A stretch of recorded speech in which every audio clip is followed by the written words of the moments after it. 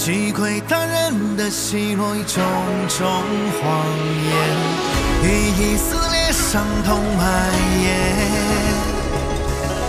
唤醒沉睡的少年，勇往向前。他披上战袍，风呼啸，江湖上飘扬，生死走一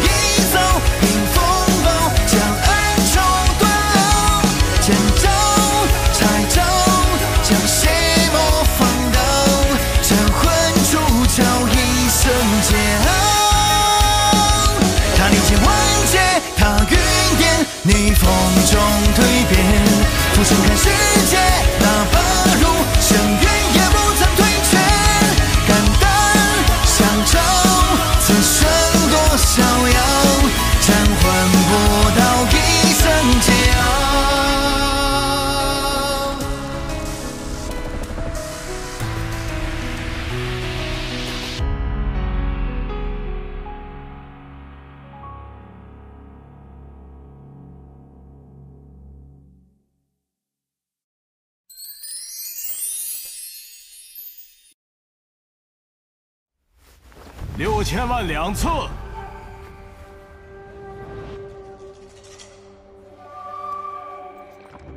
看来他对天银石势在必得呀。五兄，不加价了。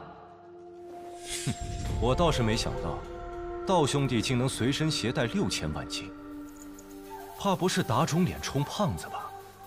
这就不需要你操心了。六千万三次，成交。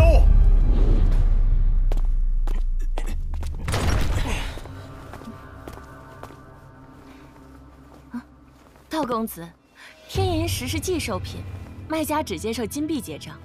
啊把这块令牌给管事的，让他把这些物品兑换成金币。供奉令牌，聚宝阁供奉都是天骄或者老一辈强者，就凭你也配？这块令牌恐怕是假的吧？令牌的真假，聚宝阁自会分辨，用不着五少爷多管闲事。你这种不知道哪儿冒出来的小混混，敢对我无礼！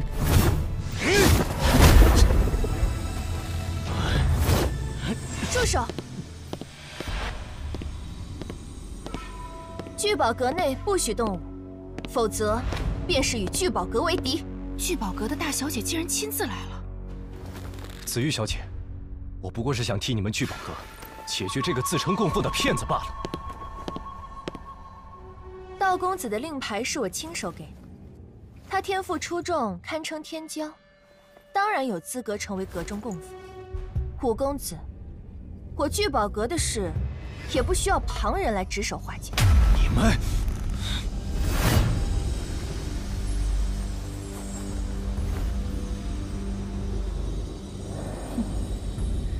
这儿吵得很。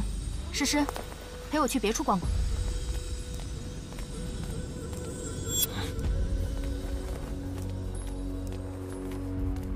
哼聚宝阁的眼光也不过如此，这拍卖会不参加也罢。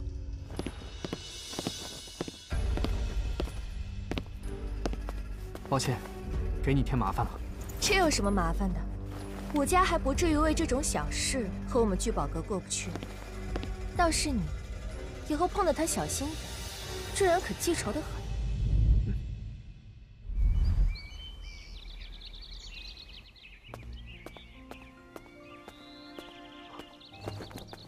师姐，你怎么在这里？院长让我带你去见他，正好我也有事要告诉你。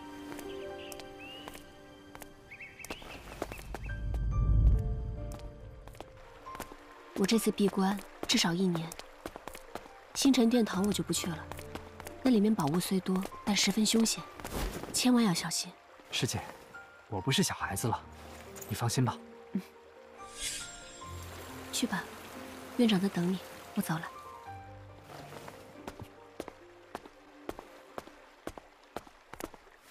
是是。青长老，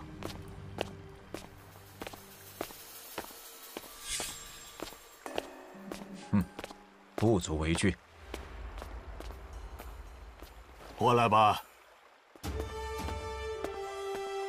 院长，有一件任务要交给你。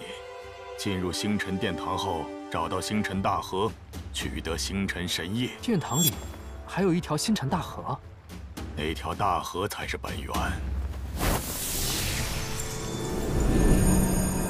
当年，学院老祖从殿堂中的星辰大河内取出一块星辰神石，并以通天之力截取了一段河流，一并带回。后来，这块星辰神石和被截取的星辰大河，就成了立院之基。那是多年已过，神石的灵气快要耗尽，一旦神石碎裂，学院也就不复存在。那您让我取星辰神液，是要修复神石？嗯。可我不过运灵六重天，您为什么会把这么重要的任务交给我？那河中压力巨大，常人无法抵抗。你练了三转金身，应该不成问题。这次任务我交给了两个人，一个是你，一个是青逸飞，他也有特殊秘法解决压力。刚才那个人是青州第一天才青逸飞。这件事关乎学院存亡，若你能找到神液，学院绝不会亏待你。我一定竭尽全力。看来必须去小武道碑留名了，取得宝物提升实力，进星辰殿堂才更有把握。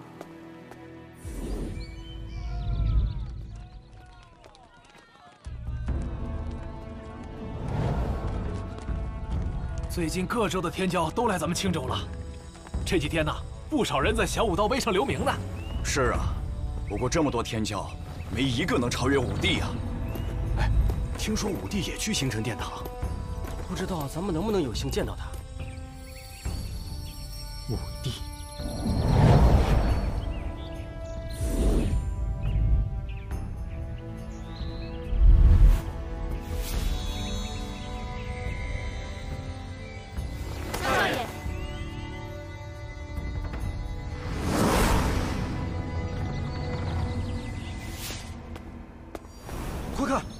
有人去小武道碑留名了。好可怕的肉身力量！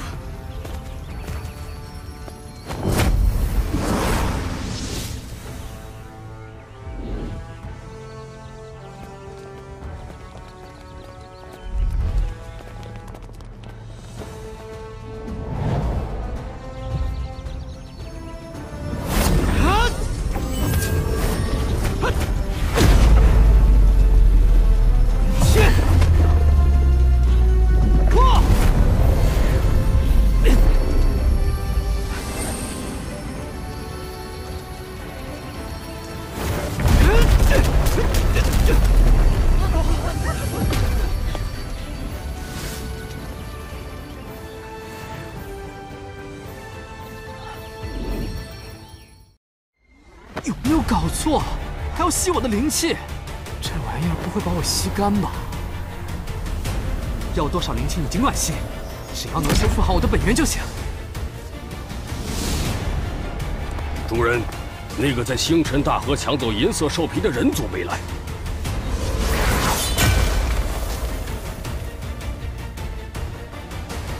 容不得你们兽族放肆！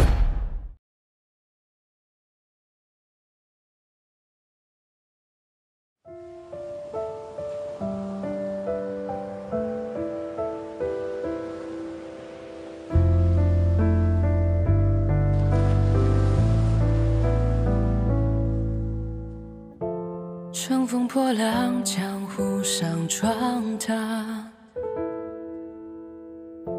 记忆斑驳，将故事回放。闭上双眼，依稀浮现梦中的情节，像遗失的往日重演。世道纷乱，心路千万里，纵横天地，是铭刻心底。破晓的间隙，黑暗中披荆斩棘，雕磨着铮铮的孤寂。飘荡在雨中的光源，是希望的火焰，拂袖一挥即燎原。盘旋混沌天地之间，是少年在沉淀，盛夏转瞬间。